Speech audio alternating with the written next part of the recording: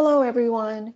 Thank you for joining today's webinar, Streamline Your Infusion Device Testing. My name is Edna Johnson with Fluke Biomedical, and welcome to today's session. Before we get started, I would like to go over some housekeeping items. Everyone other than the panelists are muted during the webinar. During this session or any time throughout the presentation, please use the questions window on the right panel to submit your requests. We will try to answer all questions. However, if we're not able to get to your request, send us an email and we will get it answered for you. This webinar is being recorded and you will receive information about how to gain access to the recorded session and a follow-up email. Now I will turn it over to Dan and the team. Thanks, Dan.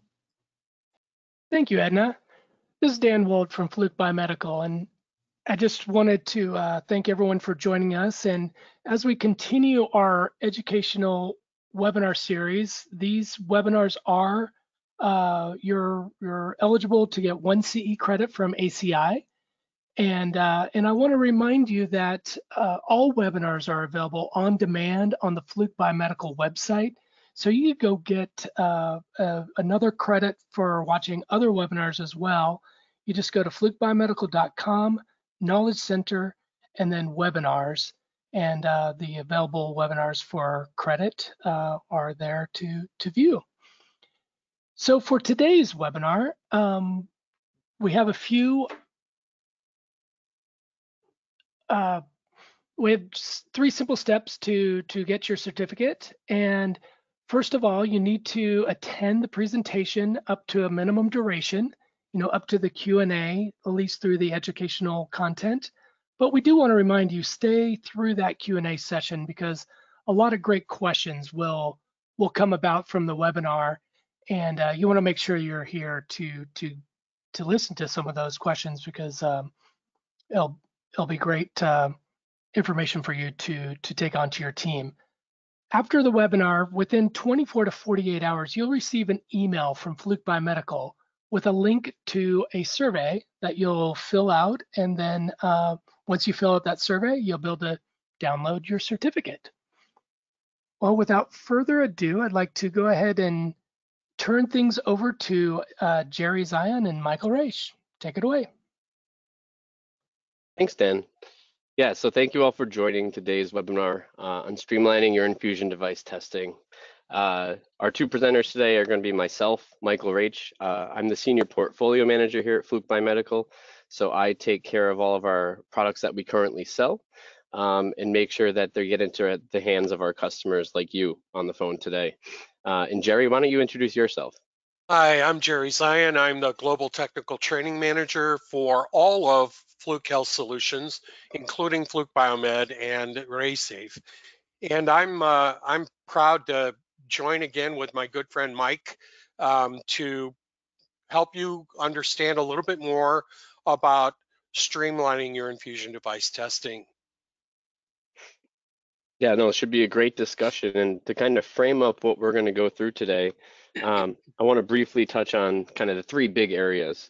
Um, the first thing we're going to touch on is why infusion device testing is important.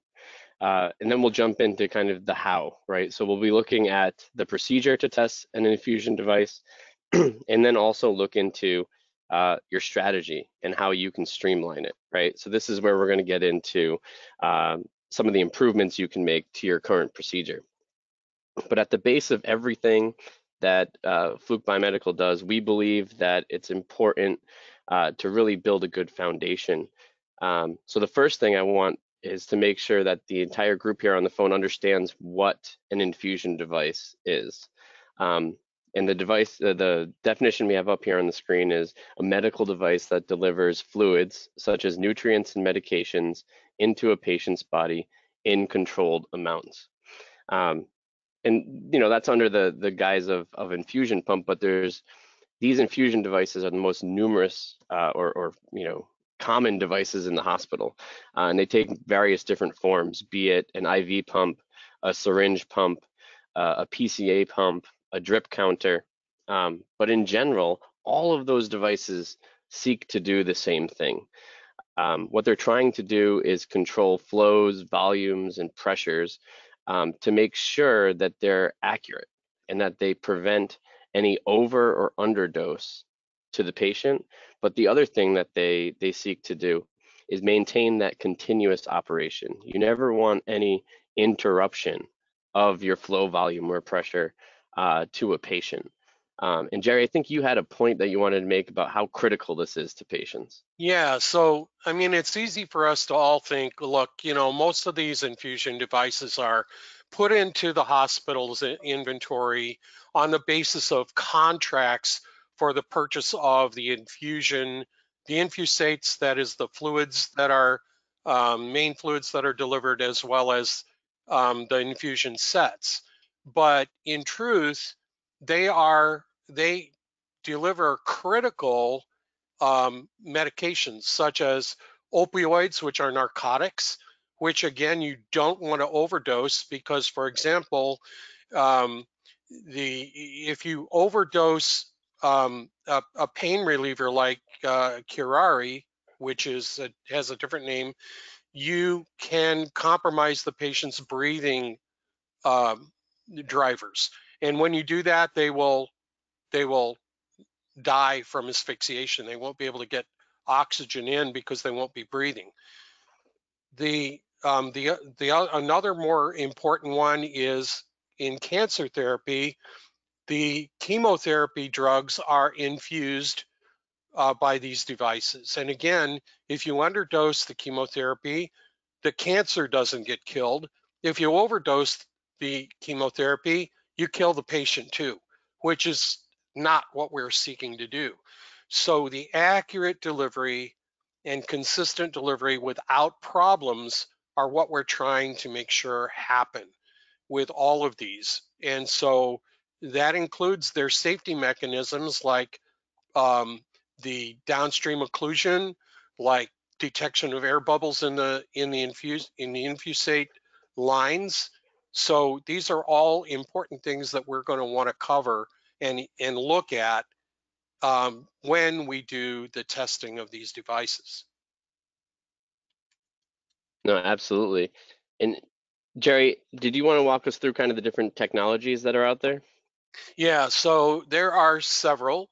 Um, there are, um, we'll call them peristaltic actions, which can be a roller pump uh, where the roller is actually kind of pushing the fluid through the tubing, or there's like, we call them fingers, and you can see those in the in the left hand illustration to the right side of it. And those kind of massage the fluid through the tubing to get it to be delivered. And those are important mechanisms. They're pretty common uh, across all infusion pumps. And then there's the syringe method, the syringe pump, which has actually got a uh, mechanical, very accurate screw, um, threaded screw that drives the um, the, the uh, piston of the of the infusion of the syringe to deliver very accurately the amount of infusate held within the syringe. So these are used, for example, for um, uh,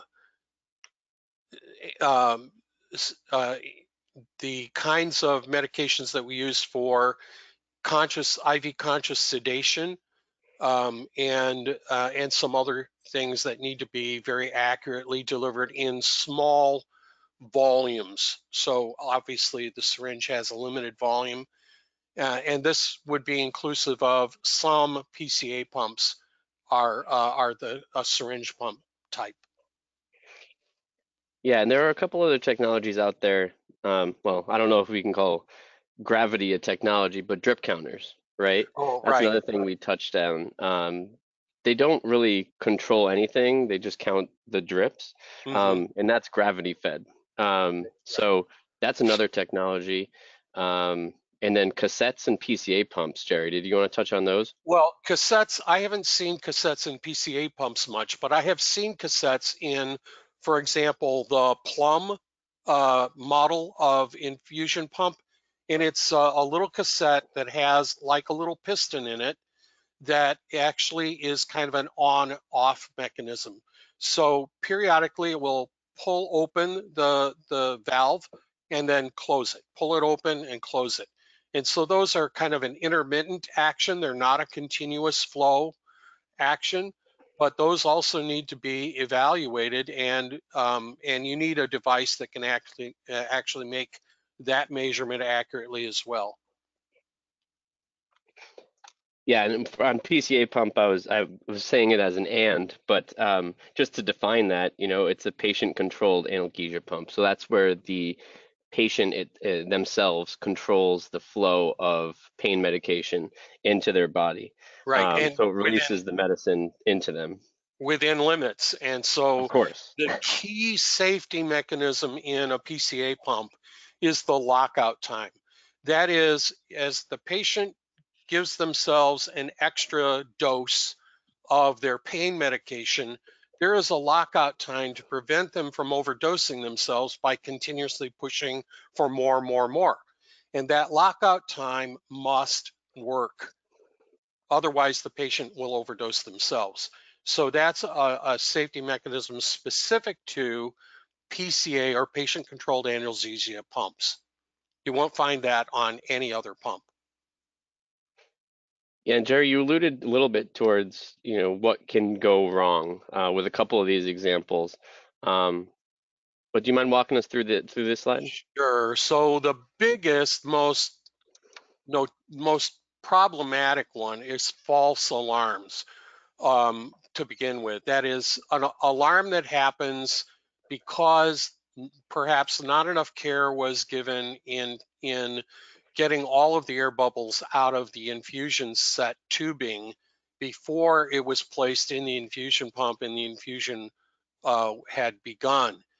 Um, and those uh, those are a nuisance to the nursing staff um, because they interrupt the delivery of the medication and they require uh, the personal attention of the nurse to clear those bubbles and and reset the um, restart the infusion.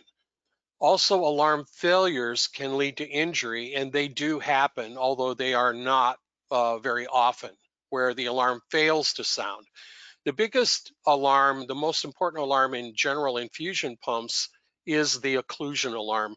And it's looking for downstream occlusion mostly, but there are also upstream occlusions it will detect. And in the case of the downstream occlusion, it can cause the, it is caused typically by the needle um, that is in the vessel, the blood vessel of the patient, migrating and poking through the side of that blood vessel and sending the infusate into adjacent tissue. That will cause a swelling and indeed a back pressure to begin. And the idea is that it's a safety feature to prevent tissue damage because of pushing fluid in into the tissue as opposed to into the blood vessel for distribution throughout the body. So um, if that alarm fails and the pump fails to stop pumping, which are both part of that mechanism, then the patient is in trouble again. So again, another safety feature that we will seek to evaluate and make sure it's working properly during the testing. Free flow of fluid would uh, may happen or syringe siphoning may happen. These are much less frequent problems. Um, free flow of fluid means there isn't any control. It's just flowing based on gravity, uh, whether or not it should, and there is no, no, nothing is happening to uh, cause it to stop. So we don't want any of that to happen. Air embolism would happen if the air in the infusate tubing actually migrated through the needle and into the blood vessel in sufficient size of the air bubble that it would block off blood flow uh, to a critical um, um, uh, a, critical and vital organ. So we don't want that to happen. It can happen. Again, it is very rare. Uh, air embolism can cause stroke and it can cause cardiac arrest um, if it is delivered into uh, uh, in, in, in, in a way that causes the blood to be blocked, blood flow to be blocked. Incorrect readings are much more likely and they can be a malfunction of software uh, and can lead to over or under dose of drugs. And that has happened also if you look in the US FDA um, incident reports, um, that is their corrective actions. You can find those on the US FDA website. They're free and available to anybody. Um, so you will find some of those if you want to read about them.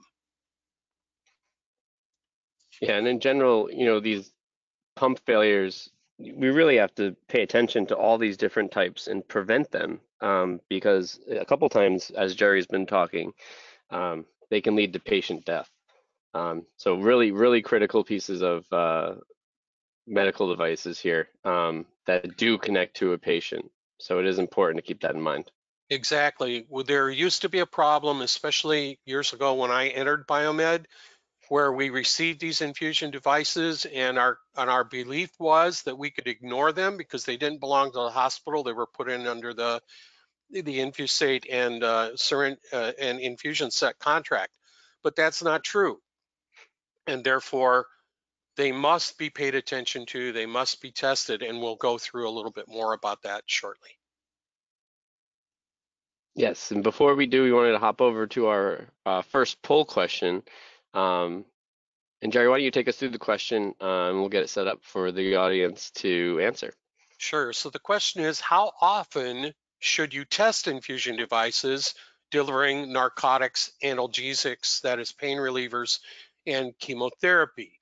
Now, so the question is not just how often should you test infusion devices, but how often should you test those that deliver these much more critical and very potent medications to the patient.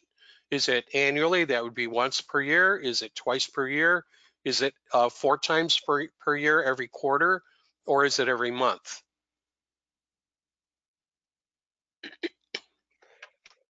All right, so it looks like the poll's And, uh, yep. open. It's open. Thanks, Mike. And we will give participants about 30 seconds to enter their response.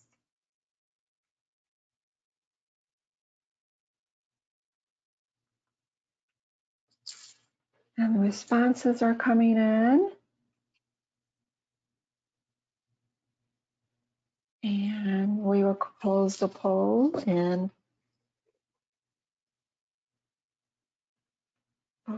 okay, and the poll is now closing.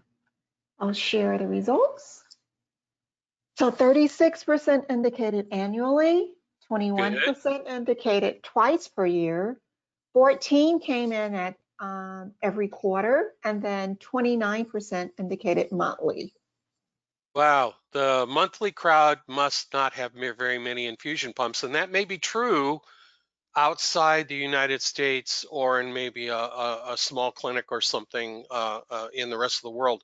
But typically, there are far too many infusion devices to be able to accomplish a monthly test, and that that that may be um, that may be sad, but um, but there are other ways to get around it.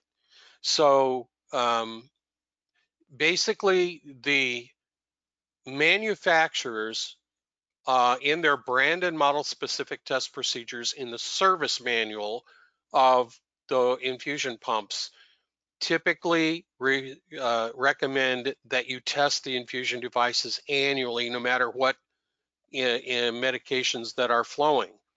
However, as you will see later in this presentation, we recommend that you double check that against your experience and your understanding of how infusion devices are used in your hospital or if you're an independent service provider in your client sites. And make sure that if you can possibly segregate those that are delivering narcotics, analgesics, and chemotherapy, um, that you consider that they may need to be tested more than once per year, but base it on your own assessment based on your own information and experience with those devices. We'll talk more about that a little bit later. Yeah, well, thanks, Jerry. So first, we kind of wanted to walk through some general test recommendations.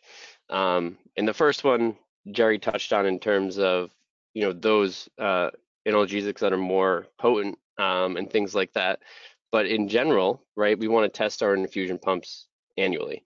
Um, this is something that we want to keep in mind, um, not just about narcotics or things that could cause patients to stop breathing, breathing, um, but you know, do push those those lines of thought in terms of, am I testing it enough? Should I be testing it more frequently?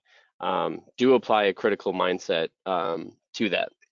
And especially second- those safety functionalities in the infusion device, especially those, um, including the accuracy, but you know, those those uh, things like the downstream occlusion uh, alarm and um, the mechanism, the functionality that causes the infusion pump to stop pumping.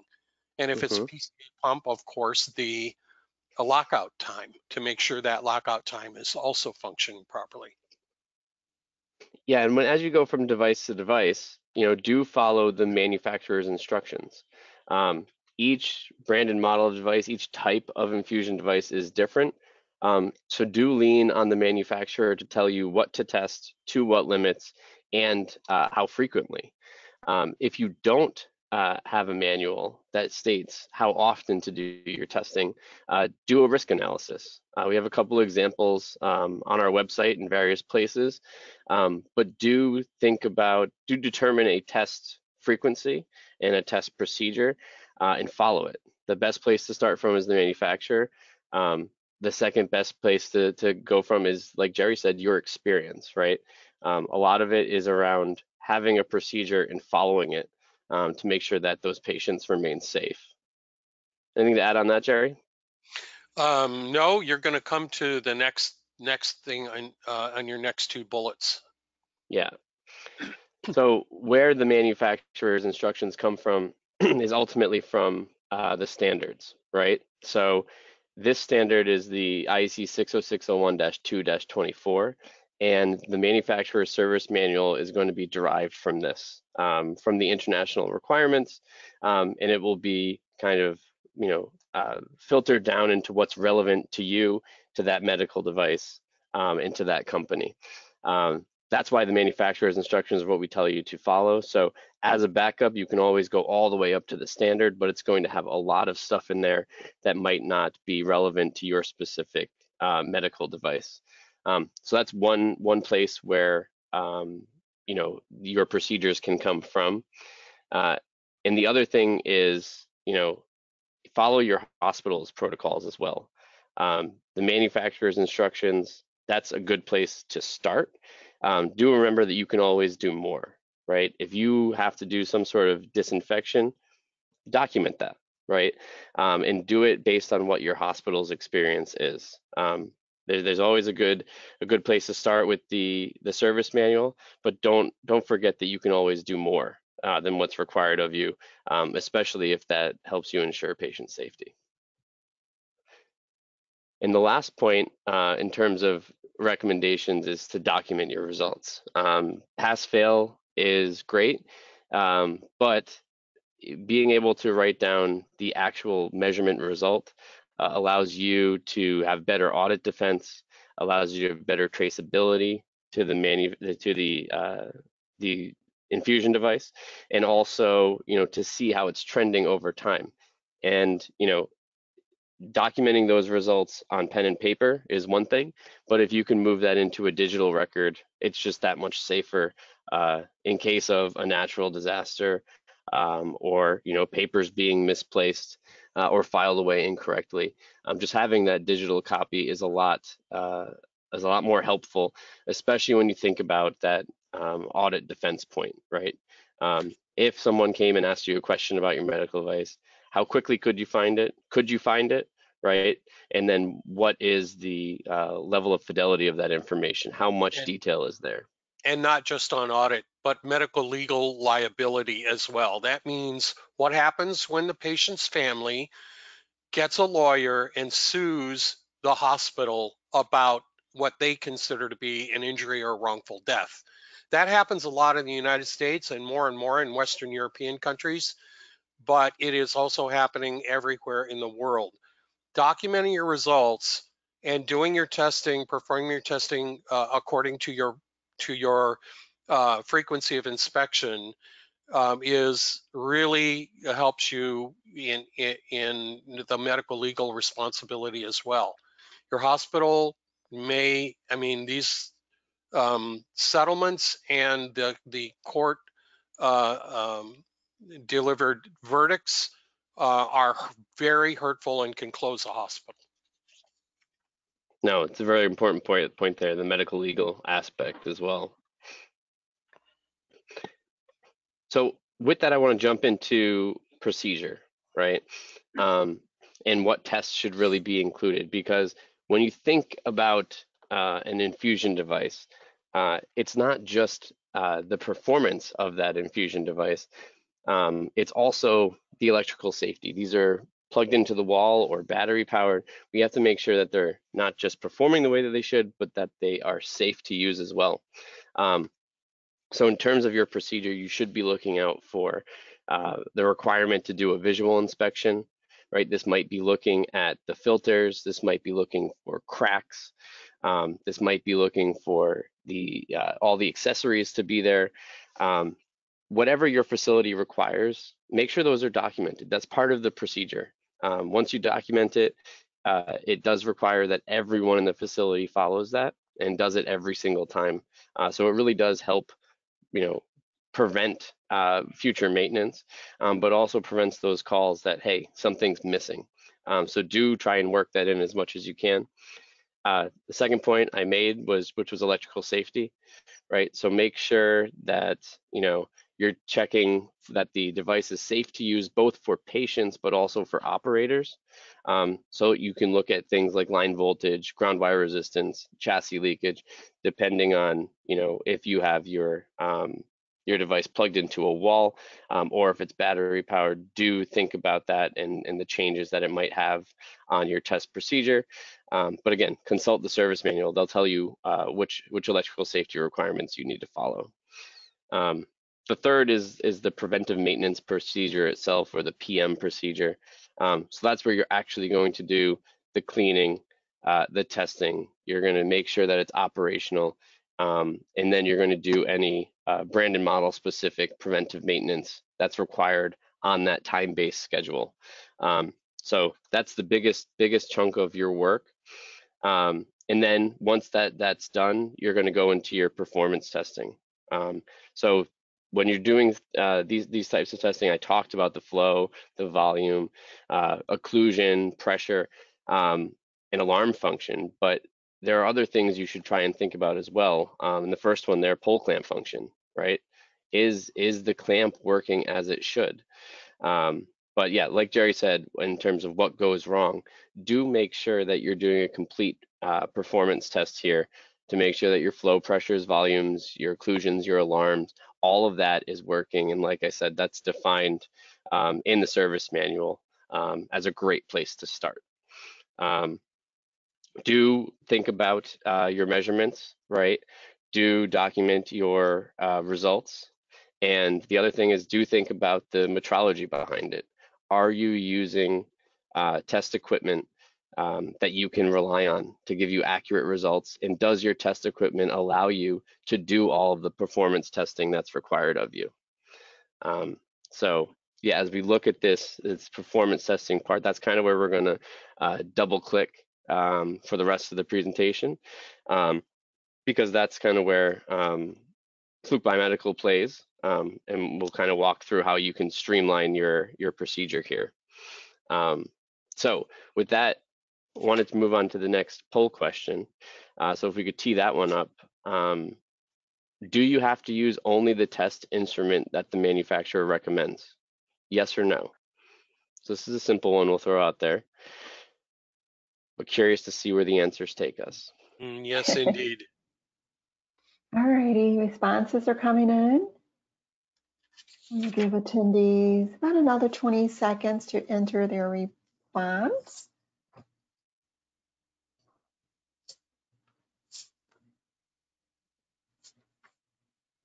And the poll is now closing. I'll share the results. And so there we go. Let's see, 36% indicated yes, 64% indicated no.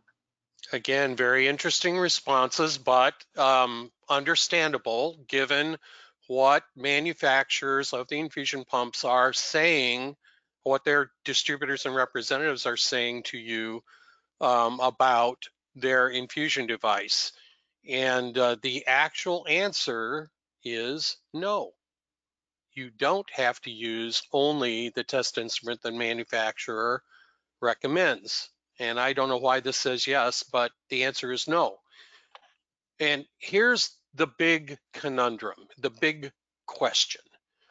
If the manufacturer says you need to use a beaker and a scale, which measures the weight by volume of the fluid that goes into the beaker, then they're going to ask for the, the results of the measurement to be in grams.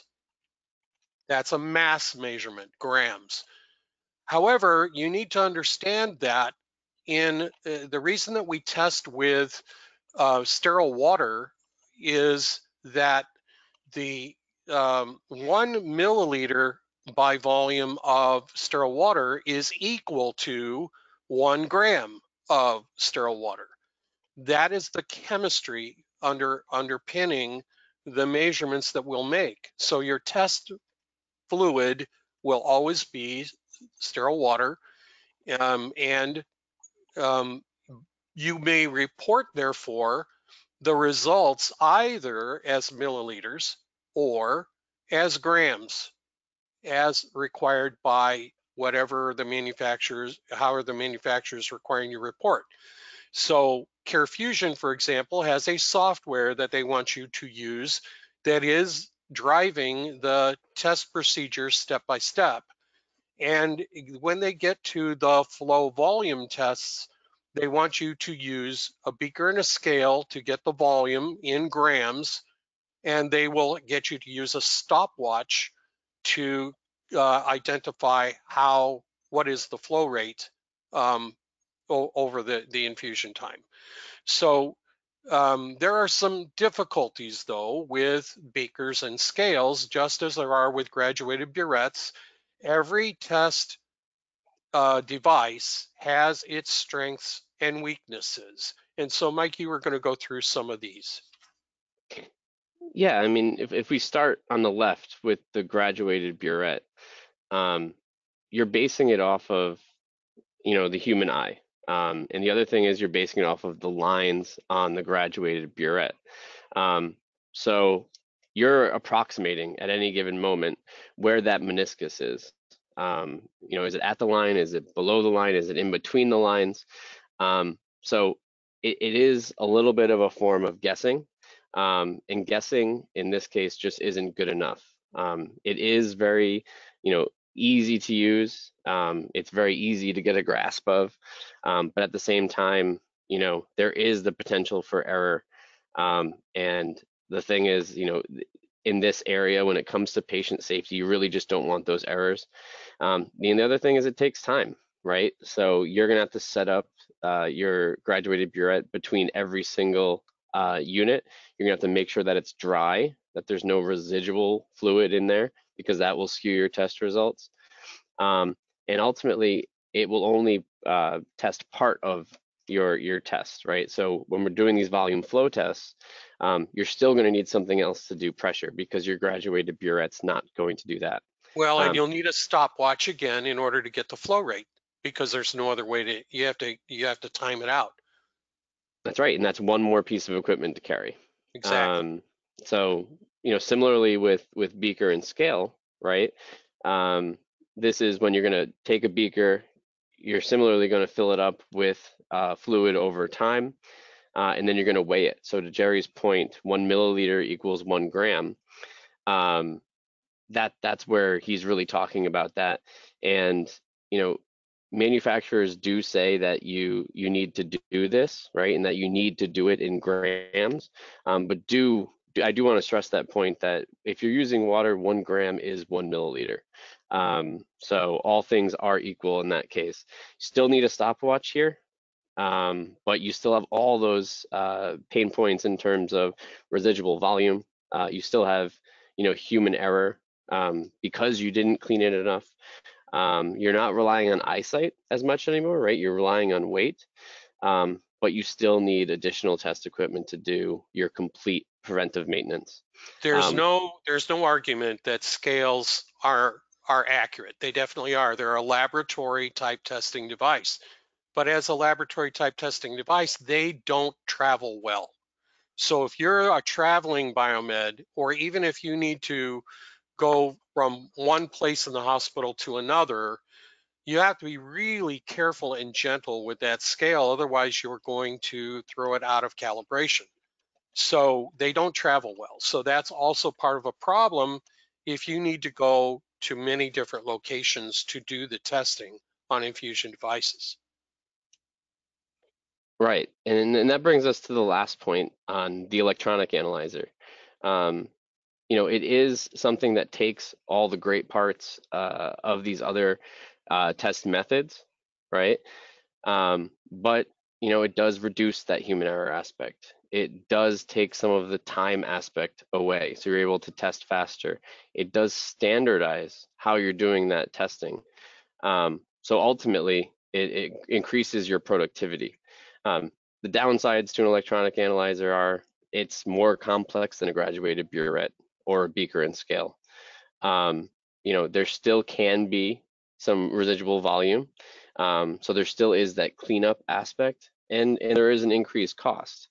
Um, but again, when you use an analyzer like this, um, you know, and you, you take care of it, you use pure distilled water or micro 90, um, you get those accurate results. You have a long longevity of your, your test device, uh, and you're really able to take away a lot of those downsides to um, the other pieces. You don't need that stopwatch, right? You don't need an extra piece of equipment, uh, and you've you've reduced your error and increased your accuracy. So there are definitely some um, advantages there.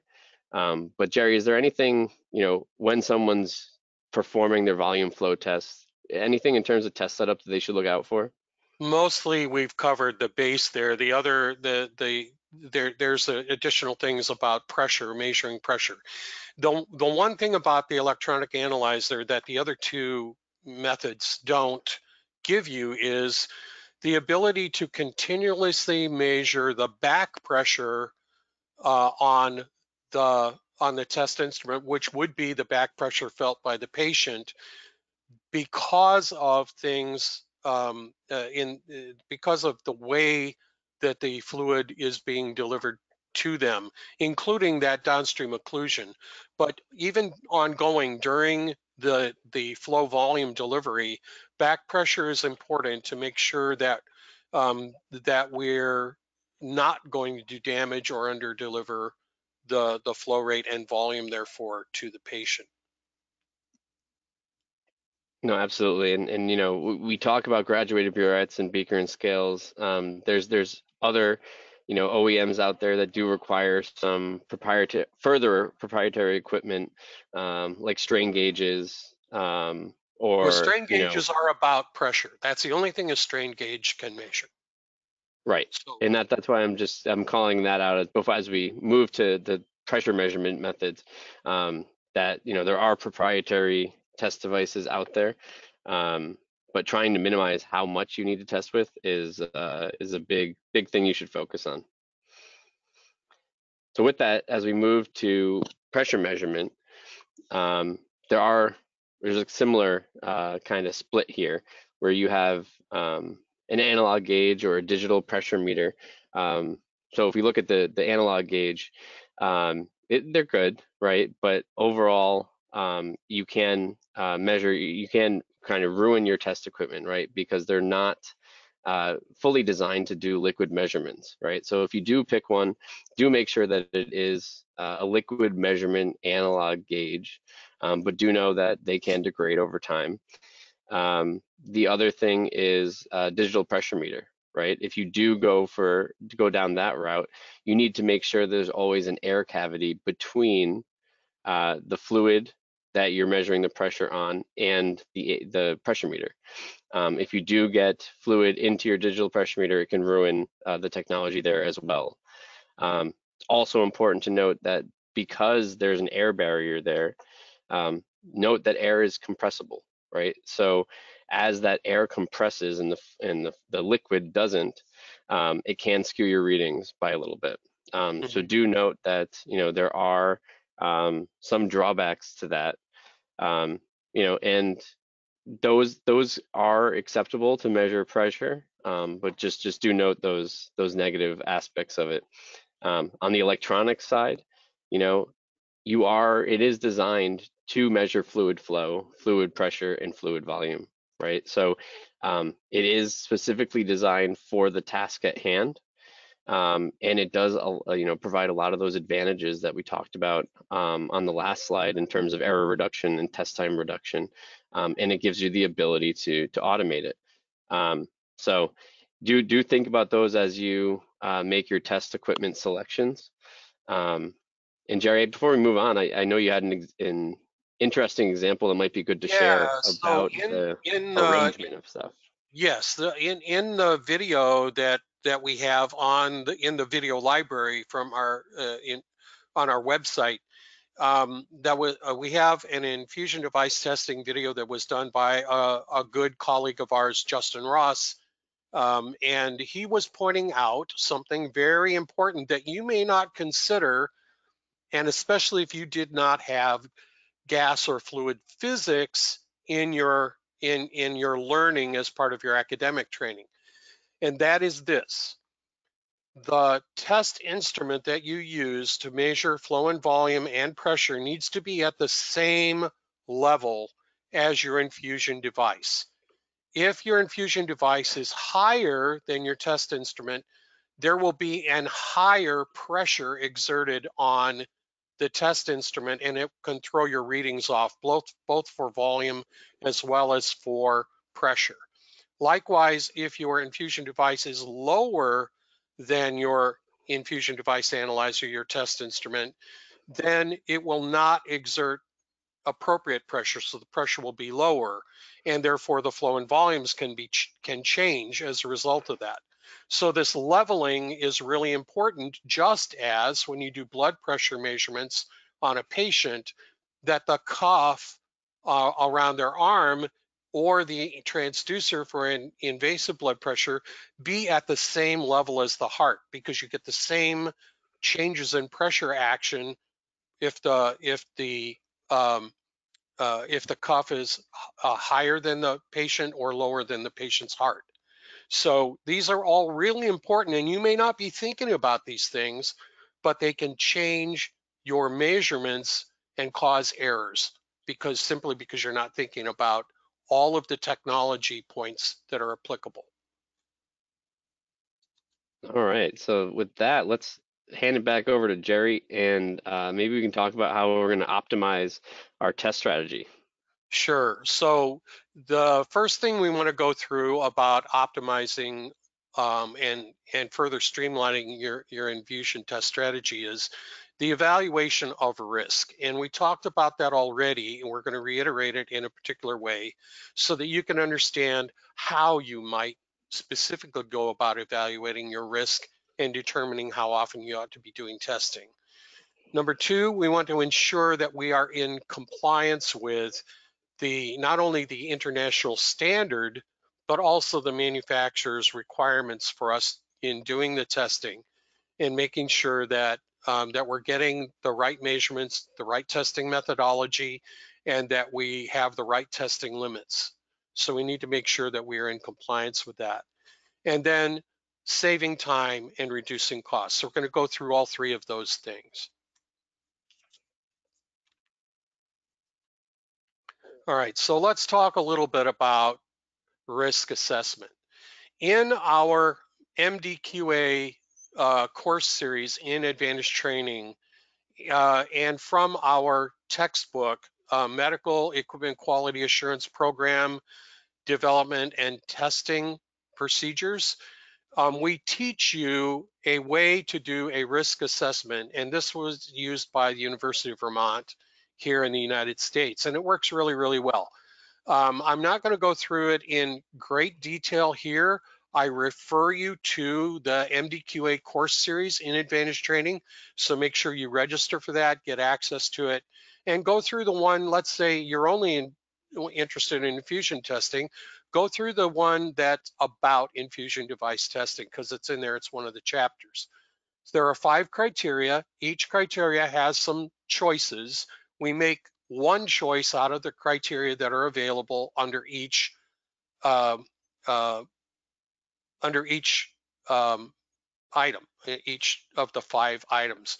So we end up with a total risk score that we use to determine how often we should be testing the medical device, including infusion pumps, based on our experience and the experience of others uh, that come in from places like the US FDA, uh, incident reports and so forth to make sure that we have a clear understanding of how often that testing ought to be done and verify or have another way to compare what the manufacturer is saying compared to what is our own experience with infusion devices in our inventory or in the inventory of our client sites if we're an independent service organization.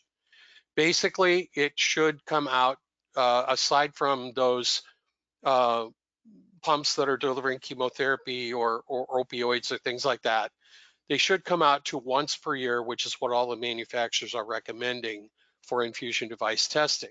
But your experience may be different and it's okay. And if you need to test more frequently, that's what you should write in your policy and procedure about how and how often you're going to do your infusion device testing and why. That's your your um, uh, justification for why you're going to test more often.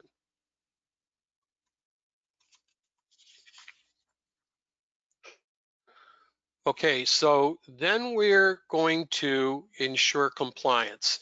So here we're going to suggest that you consider some form of test automation.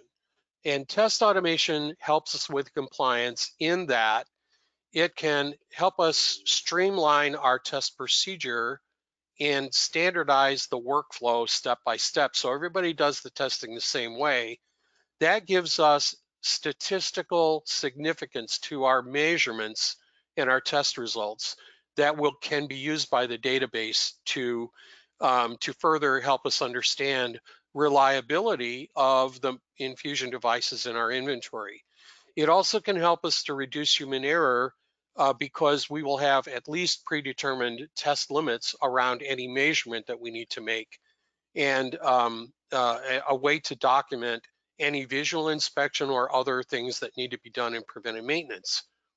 It helps us ensure regulatory compliance because we have the right documentation that helps us with audit trail when the um, the state health inspectors come or the US FDA health inspectors come or whoever is accrediting your medical facility. So in the United States, it would be uh, Joint Commission or it would be uh, DNA, uh, DNV, I'm sorry, DNV.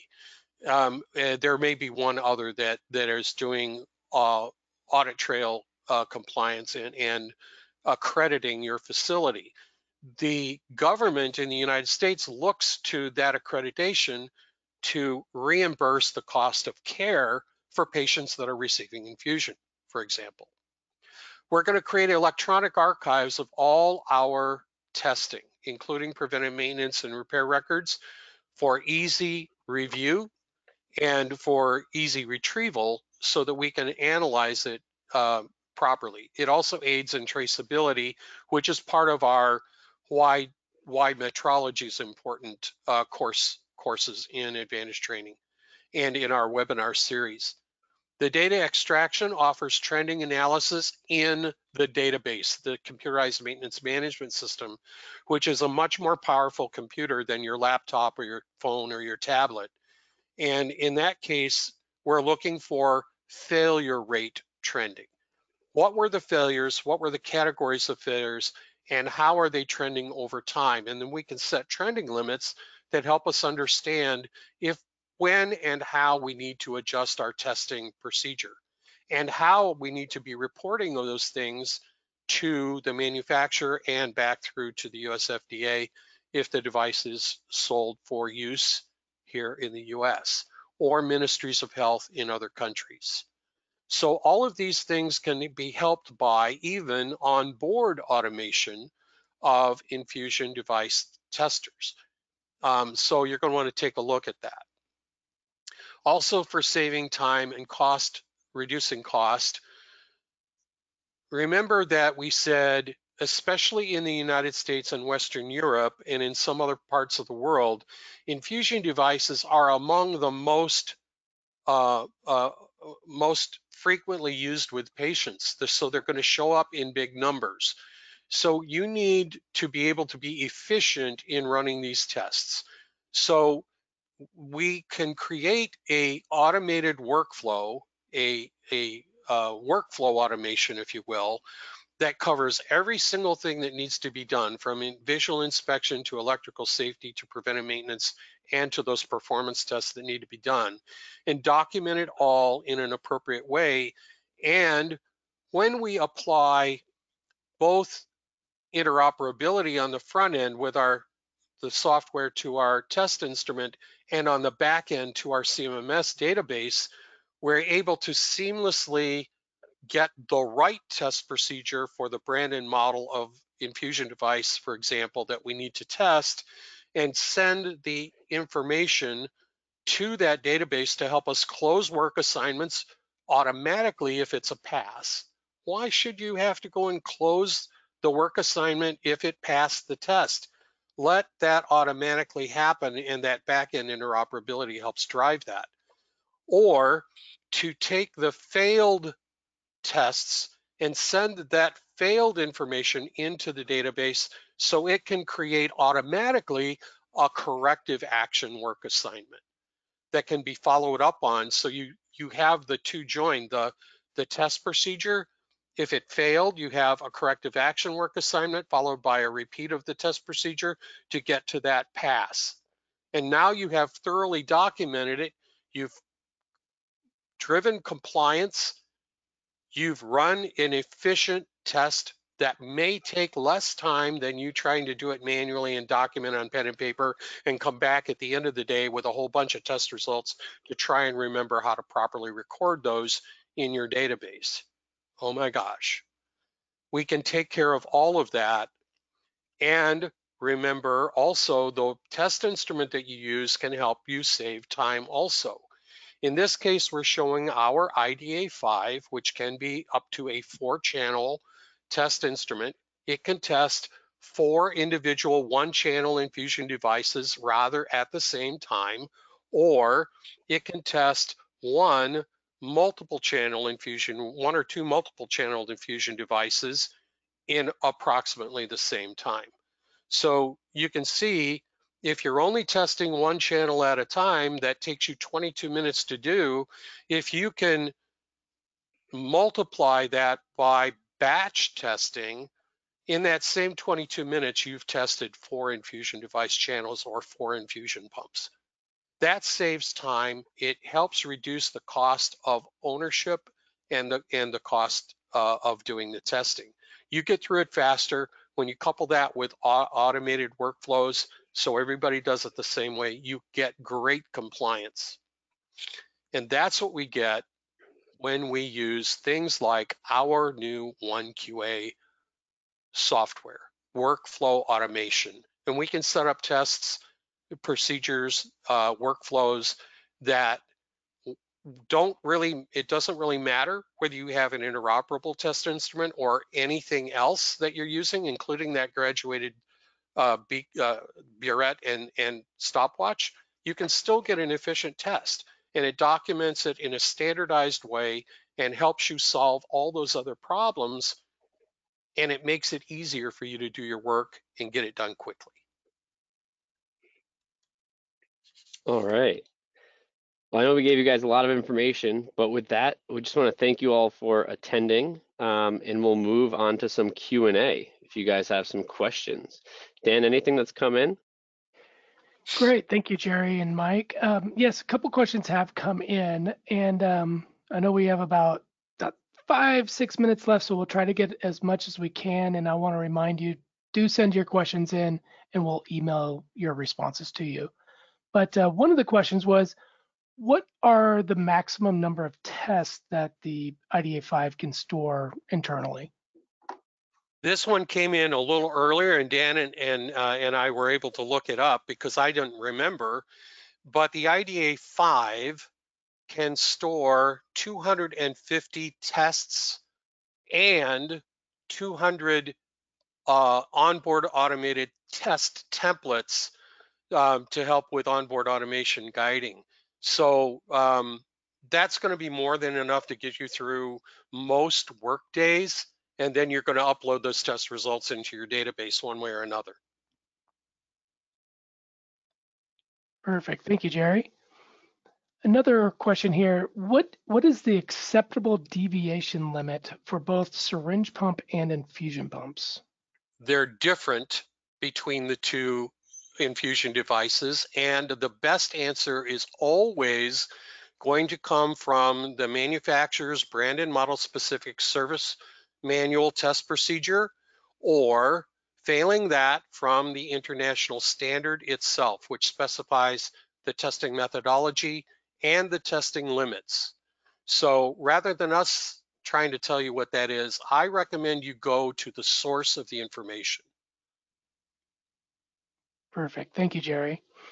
And then we have another question. We have a, a person on the line here that's using a beaker and scale now, but they're wondering how they can. I, I think you answered this in the slide before this uh, about batch testing with the IDA on, on how you do that.